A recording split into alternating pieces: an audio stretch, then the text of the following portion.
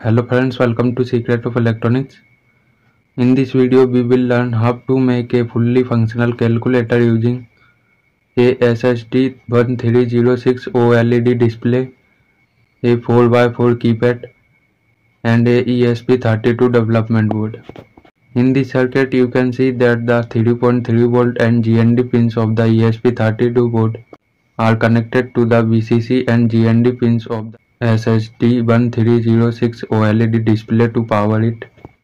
The SDA and SCL pins of the SSD1306 OLED display are connected to GPIO pins 21 and 22 as these are the I2C pins of the ESP32 board.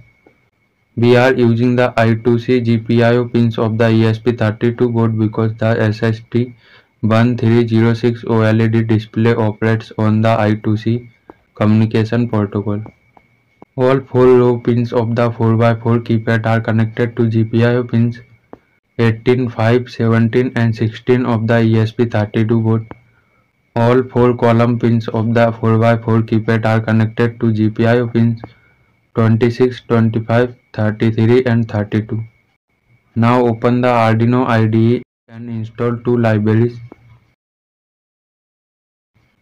the keypad library and the Adafruit SSD 1306 library. I have already installed both libraries. Next, connect the ESP32 development board to your PC using a USB cable. After connecting, open the code file. Select the correct board and port and then upload the code by clicking the upload button. You can download the code from the link provided in the description.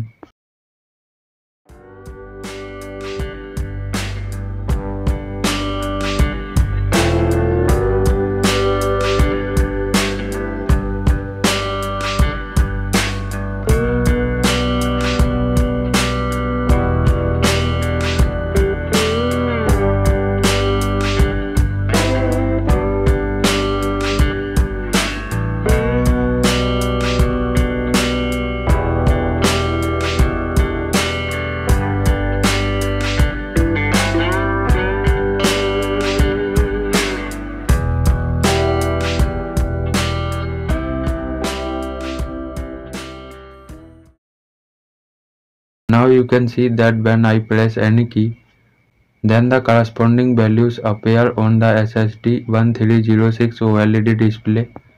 After entering the value, when I select a operation by pressing the operator keys, then the corresponding operator is displayed on the SSD 1306 OLED display.